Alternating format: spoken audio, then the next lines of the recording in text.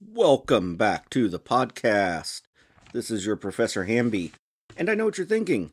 Where is the snazzy intro?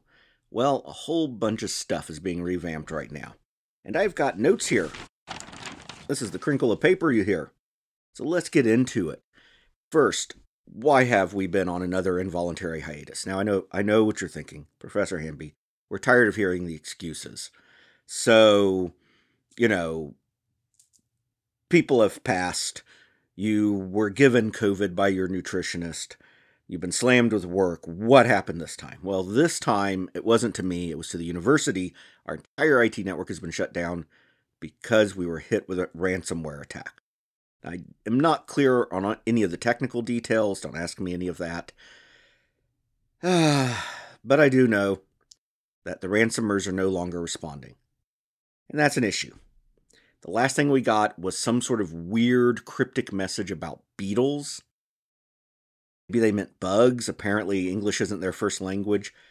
I tried Googling for stuff about beetles and cybercrime, but all I got was this weird story about this North Korean town that is apparently part of North Korea's very limited IT industry and how it was overrun by beetles that were so bad that after the town was evacuated, it had to be firebombed by the World Health Organization.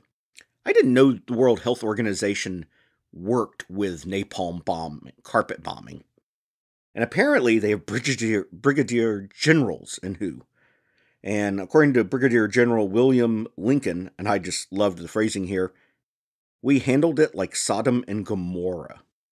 Well, anyway, we can toss that. I'm sure that's not relevant to anything.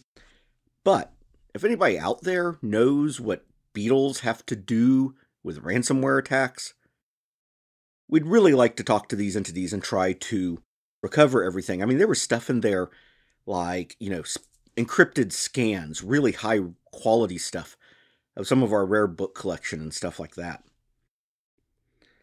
But clouds have silver linings. And one of the silver linings on this is that the Board of Trustees has given our IT department a bunch more money. And, dramatic pause, some of it is being passed on to me to improve the podcast. So, we're going to have a new actual subdomain off miskatonicuniversity.net for the comics course, new website. Still have to talk to the IT people who handle all that. I don't know what it's going to look like yet. And we're going to have some hardware upgrades and software upgrades. First of all, we've been using these low end, nice but low end Shure mics. They're going to be upgraded to these nice Rode podcasting XLR mics. They are going to go through not the old mixing board, but a Behringer uh, Utopia something something something dedicated audio interfaces. Those will go directly into a computer running this nice software called Hindenburg Pro that will record Rowan and I in separate channels and allow modifications. So, really looking forward to all that. Additionally, my office is going to get a little more soundproofing. That'll be nice. And, and, this is going to be a big content change, but we're going to scale back to recording once a week. I feel like some of the episodes have been a little too haphazard, and I want to deliver quality. Plus, I want to start getting material loaded up in advance so that when crises happen, we don't miss a week posting. And there will be some new content in the episodes, a little bit of light news about what's happening in the publishing world of comic books, especially where I think it has cultural import. So, that's kind of the state of the podcast. You'll see me again soon. But for now, class is out of session.